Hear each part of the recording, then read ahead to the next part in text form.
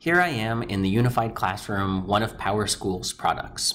I've logged in as a student, and right on my dashboard, I have this class overview that shows my total grade in each course. This student is only enrolled in one course, so we only see one down below. Now, there's a question, which is when teachers post comments to students on the work they've done, they can post those comments into the gradebook. So where do I, the student, find my teacher comments? The ones they posted to the score sheet. There are two good places. Um, the first one's not the best. I'll show the second in a moment. The first place to find a comment, you see that icon, that blue right here, it's getting covered, but that blue paper with a check mark? That indicates that the teacher has left a comment. So if I click, this is recent assignments, if I click view all under recent assignments, I can now see, oh, here it is. Let me click on that icon.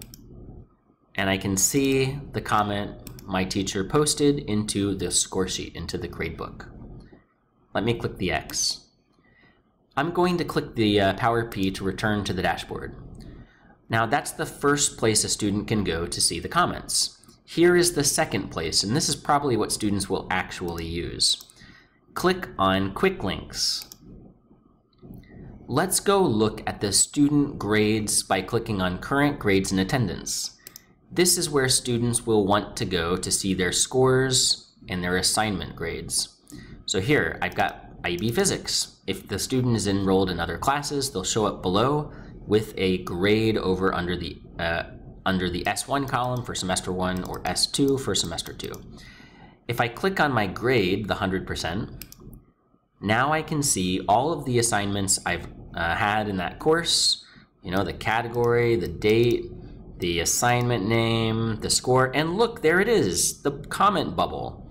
To view the comment, we click on View in the far right. And here's the exact same comment that I saw previously in the Unified Classroom. Let me click the X.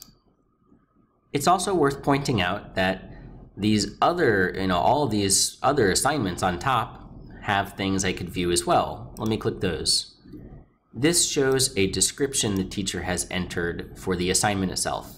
This is not a comment the teacher left me, it's just the assignment description. You can look through the various screens on the left side. I want to just point out teacher comments. This is not the same thing we were just talking about.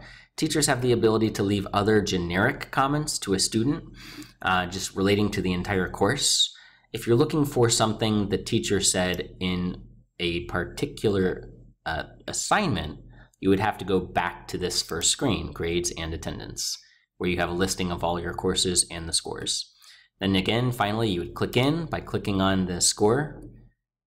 That's how you access one particular course and all the grades. And that's where you see scores, assignments, category, and so forth. Thanks for watching.